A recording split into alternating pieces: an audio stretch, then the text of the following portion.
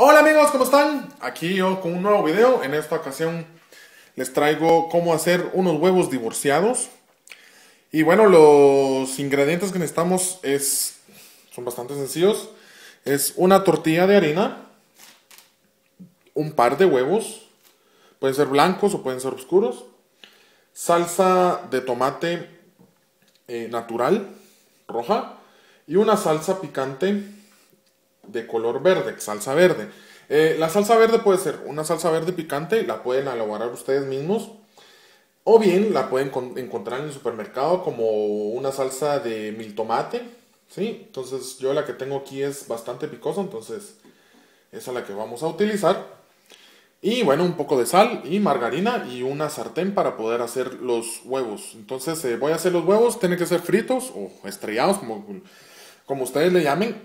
y eh, a continuación les mostraré cómo terminaría, cómo, cómo quedarían los huevos divorciados.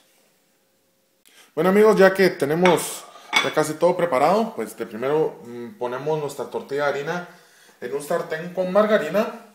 Le, la, dejamos mm, tal vez un minuto y medio de cada lado.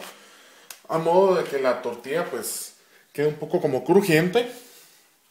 Luego de que tenemos nuestra tortilla ya elaborada. Vamos a poner encima nuestros dos huevos fritos o revueltos, como, no, perdón, fritos o estrellados, como ustedes le llamen en su, en su país. Y lo siguiente va a ser a echarle la primera salsa a lo que es una yema.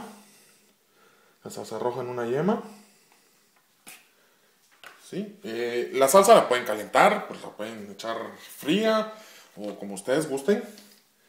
Y el otro, la otra yema, va a llevar la salsa verde. Entonces, eh, también lo que pueden hacer es echarle abajo de los huevos, o sea, la tortilla, y le pueden poner un poco, de, le pueden untar frijoles, o simplemente lo pueden hacer de esta manera. Entonces, así quedarían nuestros huevos divorciados.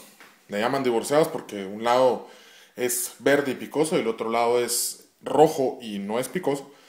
Y bueno, espero que les haya gustado y buen provecho. Será hasta la próxima. Chao.